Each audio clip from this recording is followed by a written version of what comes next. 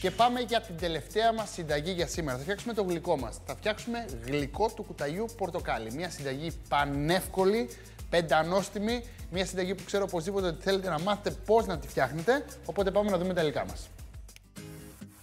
Για το γλυκό του κουταλιού πορτοκάλι θα χρειαστούμε 2 κιλά πορτοκάλια, 800 γραμμάρια ζάχαρη κρυσταλλική, 800 γραμμάρια νερό, μία κουταλιά της σούπας γλυκόζη, 2 αστεροειδείς γλυκάνισους, 2 λοβούς κάρδαμο και χυμό από ένα λεμόνι. Για το σερβίρισμα, γιαούρτι στραγγιστό και δεντρολίβανο. Και πάμε να ξεκινήσουμε. Λοιπόν, πρώτα απ' όλα πρέπει να ξεκινήσουμε με τα πορτοκάλια. Η διαδικασία είναι πάρα πολύ απλή. Θα αφαιρέσουμε το ξύσμα από το πορτοκάλι γιατί πικρίζει το γλυκό μας του κουταλιού, σε περίπτωση που το κρατήσουμε, εδώ. Και λίγο να αφήσετε δεν πειράζει. Αλλά ό,τι μπορείτε να βγάλετε περισσότερο, το βγάζετε. Τώρα, τι κάνουμε στη συνέχεια. Κόβουμε εδώ. Και εδώ. Θα πάρω το μαχαίρι και έτσι όπως είναι θα βοηθήσω λίγο τη σάρκα από πάνω, εδώ. Λίγο να ξεχωρίσει. Και εδώ, ίσα ίσα, ξεχωρίζω λίγο τη σάρκα εδώ από τη φλούδα. Και έτσι όπως είναι παίρνω το μαχαιράκι μου, κόβω ένα, δύο, τρία, τέσσερα, πέντε, έξι. Δεν πολύ απλά, παίρνω και αφαιρώ τη φλούδα. Και εδώ. Και εδώ. Τώρα, παίρνω εδώ το γλυφίδες, εδώ.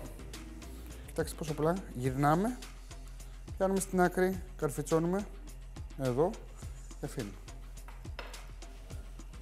Ακριβώς με τον ίδιο τρόπο θα ετοιμάσω και όλα τα υπόλοιπά μου πορτοκάλια. Και σχεδόν έχουμε τελειώσει εδώ. Τώρα, όπως καταλαβαίνετε, η φλούδα του πορτοκαλιού έχει άπειρη γεύση, αλλά συγχρόνως είναι και πικρή. Γι' αυτό το λόγο δεν μπορούμε να καταλάβουμε την άπειρη γεύση που έχει. Εμείς θέλουμε να κάνουμε, θέλουμε να βγάλουμε αυτή την πίκρα έξω από τη φλούδα. Πώς θα το κάνουμε αυτό, φίλε Διονύση; Μπράβο. Νεράκι. Έχω μία κατσαρόλα. Θα το κάνω έτσι για να καταλάβετε ακριβώς τι θα κάνω. Εσείς θα χρησιμοποιήσετε μία κατσαρόλα, δεν χρειάζεται να χρησιμοποιήσετε δύο. Απλά εγώ χωρίζω το νερό από την κατσαρόλα μου σε δύο, γιατί θέλω να κάνω δύο νερά τα πορτοκάλια. Θέλω να τα βράσω 5 λεπτάκια στη μία κατσαρόλα να φύγει πολύ πίκρα που έχουν. Και τι θα κάνω, θα αλλάξω, θα βάλω σε καινούριο νερό και θα τα ξαναφέρω 5 λεπτά σε βράσιμο. Μία, δύο και τρεις φορές ακόμα, αναλόγως τα πορτοκάλια, θα χρειαστεί μέχρι που να τα ξεπικρίσουμε. Εγώ θα τα κάνω δύο. Λοιπόν, έτσι όπως είναι τα πορτοκαλάκια μου, τα ρίχνω μέσα στο νερό, εδώ. Και μεταξύ, βέβαια γίνεται και με άλλα φρούτα ε, γλυκά του κουταλιού. Εμείς σήμερα δείχνουμε το πορτοκάλι, θα σας δείξω κάποια στιγμή πώς μπορείτε να κάνετε και κυδόνια, θα σας δείξω πώς μπορείτε να κάνετε γενικά γλυκά του κουταλιού. Είναι αμαρτία από το Θεό, πραγματικά να μην κάνουμε γλυκά του κουταλιού. Και κοιτάξτε εδώ, άλλαξε το χρώμα από το νερό κατευθείαν. Το βλέπετε πώς έχει κυτρινήσει. Επειδή τα πορτοκάλια δεν χαλάνε εύκολα και είναι πλούσια σε βιταμίνη C, λέγεται πως στο παρελθόν, κατά τη διάρκεια των παγκόσμιων εξερευνήσεων, οι ναυτικοί φύτευαν πορτοκαλιές κατά μήκος των εμπορικών δρόμων για να αποτρέψουν το σκορβούτο, που είναι μια ασθένεια που αναπτύσσεται από ανεπάρκεια βιταμίνη C. Λοιπόν, τα 5 λεπτάκια περάσανε, οπότε ήρθε η ώρα να τα βγάλω και να τα ρίξω δίπλα στο καθαρό νεράκι. Εδώ και εδώ και εδώ με αποτέλεσμα, έτσι όπως το κάνω τώρα, είναι να μην περιμένουμε. Γιατί άμα ξαναβάλουμε κρύο νερό να αρχίσει να βράζει, θα περιμένουμε πάρα πολύ ώρα. Άμα συνεχίσει να κυτρινίζει και το επόμενο νερό τόσο πολύ, τότε σημαίνει ότι θα χρειαστεί να κάνετε και ένα τρίτο νεράκι. Λοιπόν, ρίχνουμε το νερό, θα ξεπλύνω καλά. Και έτσι όπως είναι, πάμε να ετοιμάσουμε την κατσαρόλα δίπλα για να φτιάξουμε το γλυκό του κουταλιού. Λοιπόν, και βέβαια όλο αυτό το ξύσμα που έχει μείνει εδώ πέρα θα το μαζέψω. Αναγία μου. Λοιπόν, αυτό έτσι όπως είναι θα το αναμίξω με λίγο κονιάκ, εδώ, τέλειο. Και λίγο ζάχαρη. Εδώ, ανακατεύω.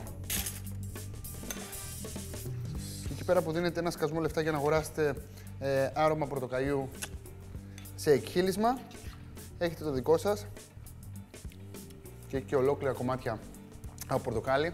Θέλει δουλειά, θα αφήσετε το αλκοόλ να δουλέψει πάνω στο πορτοκάλι και μετά από 2-3 μέρες στο ψυγείο θα είναι έτοιμο. Τώρα, πάμε πίσω στη δικιά μας κατσαρόλα, εδώ πέρα. Θα ρίξω μέσα όλα τα υλικά που χρειάζομαι για να φτιάξω το γλυκό του κουταλιού. Τη ζάχαρη, το νερό, τη γλυκόζη. Σε περίπτωση που δεν έχετε γλυκόζη, και θέλετε να κάνετε το γλυκό του κουταλιού, γίνεται και με μέλι. Η γλυκόζη θα μας κρατήσει το γλυκό μας ε, από το να μην κρυσταλλώσει, να μην πετρώσει μετά από ε, δύο-τρεις μέρες. Οπότε χρειαζόμαστε. Το μέλι βέβαια δεν είναι τόσο καλό όσο η γλυκόζη, να το πω, αλλά θα δουλέψει. Λοιπόν, θα ρίξω μέσα τα αρωματικά μου. Εγώ έχω διαλέξει να ρίξω δύο αστεροειδείς γλυκάνισους και λίγο κάρδαμο. Μπορείτε να βάλετε βανίλια, μπορείτε να βάλετε κανέλα, μπορείτε να βάλετε ό,τι αρωματικά σας αρέσουν. Εγώ σήμερα διάλεξα να βάλω αυτά για να το κάνω ιδιαίτερο. Οπότε, με το που είναι έτοιμα τα πορτοκαλάκια μου, εδώ, θα βλέπετε, και αυτό το νερό έχει βγει κίτρινο, ίσως και να χρειαζόταν και τρίτο χέρι, ρίχνω μέσα το πορτοκάλι μου. Εδώ. Και εδώ. Οπότε αυτό πάει πίσω. Και αυτό πάει πάνω στη φωτιά. Τώρα, για να μην μπερδευόμαστε, να τα πάμε καλά με τις νοικοκυρές και τις παλιές νοικοκυρές.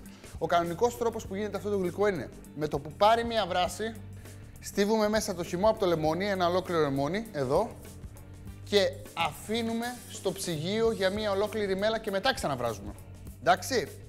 Ο δεύτερος τρόπος για να κάνουμε την ίδια μέρα το γλυκό του κουταλιού είναι να χαμηλώσουμε πολύ τη φωτιά μας. Οπότε θα βράσετε για 40 λεπτάκια εδώ πέρα και μόλις βράσει στίβουμε το χυμό από το λεμόνι, αλλά θέλω να βράσετε πολύ σιγά. Δεν θέλω να βάλετε δυνατά τη φωτιά. Το πιάσαμε, ήταν κατανοητό; Και ήρθε η ώρα να σερβίρουμε. Εγώ έχω ετοιμάσει βέβαια γλυκό πορτοκαλιού για να σας το δείξω πώς είναι.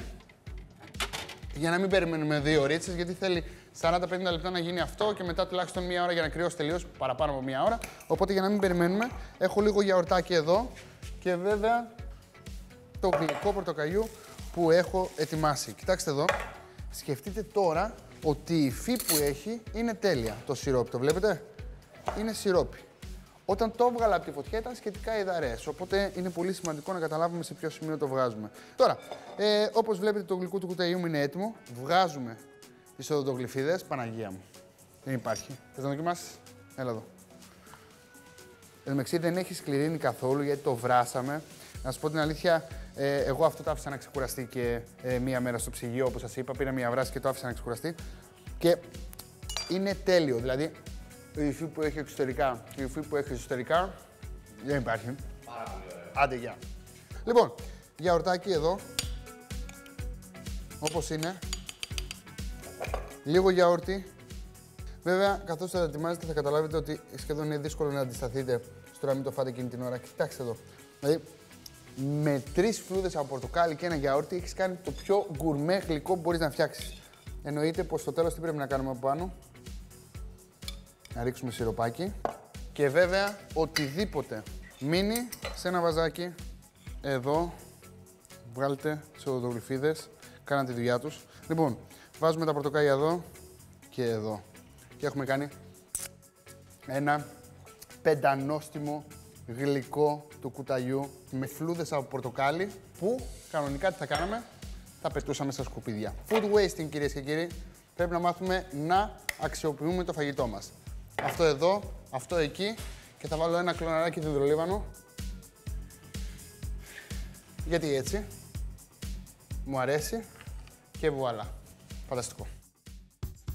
Για το γλυκό του κουταλιού πορτοκάλι Αφαιρούμε το ξύσμα από τα πορτοκάλια και το βάζουμε σε μπολάκι. Μπορούμε να βάλουμε 80 γραμμάρια κονιάκ και 2 κουταλιές της σούπα ζάχαρη και να το χρησιμοποιούμε ως εκχύλισμα πορτοκάλι. Κόβουμε τα καπάκια από τα πορτοκάλια και στη συνέχεια χαράζουμε περιμετρικά τη φλούδα. Αφαιρούμε προσεκτικά τις φλούδες, τις τυλίγουμε και τις καρφώνουμε με μία οδοντογλυφίδα. Μεταφέρουμε τις φλούδες σε κατσαρόλα με νερό που βράζει για να ξεπικρίσουν. Σουρώνουμε το νερό και ακολουθούμε την ίδια διαδικασία με καθαρό νερό για άλλες μία με δύο φορές. Στην ίδια κατσαρόλα βάζουμε τη ζάχαρη, το νερό, τη γλυκόζη, τους γλυκάνισους, το κάρδαμο, τις φλούδες από τα πορτοκάλια και μεταφέρουμε σε χαμηλή φωτιά. Βράζουμε για 40 με 50 λεπτά, αφαιρούμε από τη φωτιά και προσθέτουμε το χυμό από το λεμόνι. Αφήνουμε να κρυώσει καλά και σερβίρουμε με γιαούρτι και δεντρολίβανο.